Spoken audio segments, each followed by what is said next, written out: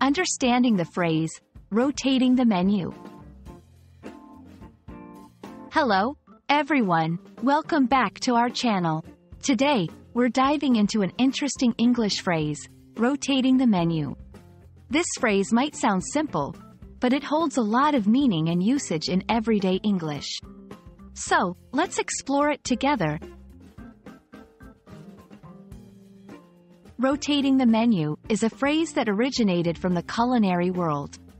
To rotate means to turn or revolve around a center or axis, or to take turns.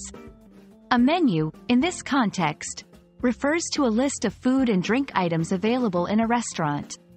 When we combine these meanings, rotating the menu refers to changing or updating the list of available dishes in a restaurant periodically. This concept ensures variety and freshness in a dining experience.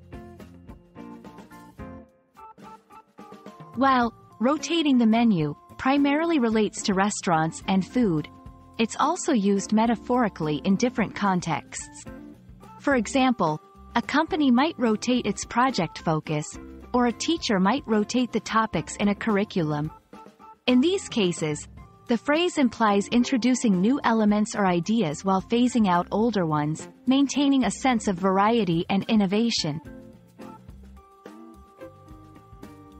Let's look at some examples to understand how to use this phrase in day-to-day -day conversations. 1. In a restaurant setting, we love coming to this restaurant because they're always rotating the menu, offering new and exciting dishes. 2. In a business context, our team rotates the focus of our meetings each week to cover different aspects of the project. 3. In education, the teacher rotates the reading list every semester to introduce students to a wide range of authors.